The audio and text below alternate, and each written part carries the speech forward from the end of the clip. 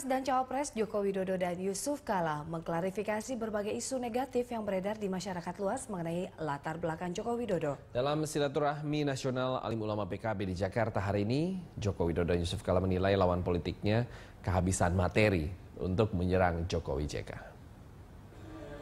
Dalam pidato di hadapan 1.500 ulama di Jakarta, Yusuf Kala mengatakan bahwa dirinya dan Jokowi ditemukan tidak memiliki dosa sosial, sehingga masalah agama dan latar belakang menjadi materi ampuh bagi lawan politik untuk menyerang keduanya.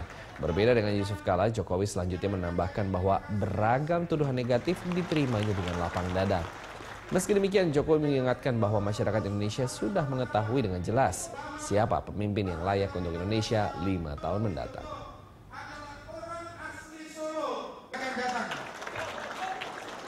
Demikian atas Tapi Bapak ha Karena itulah, karena tidak ada dosa, orang cari-carikan fitnah. Saya kira ada dosa, orang kemukakan dosa kita.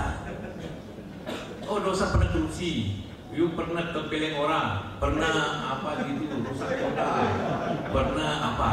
Kan itu tidak ada, makanya muncul fitnah. Nah, Padahal fitnah itu kan tentu semuanya haram. Tentu Pak Kiai nanti memberikan uh, lebih apa itu fitnah kan? Al fitnah itu satu melekat tentu kita semua. di situ disampaikan katanya bapak saya dari Singapura. Bapak saya itu wong desa. Orang desa. Desanya desa Kuto lagi. Ada kiai yang berasal dari Boyolali. Ada. Ya dicek di sana ibu saya dari kecamatan Ngemplak namanya. Namanya Ngemplak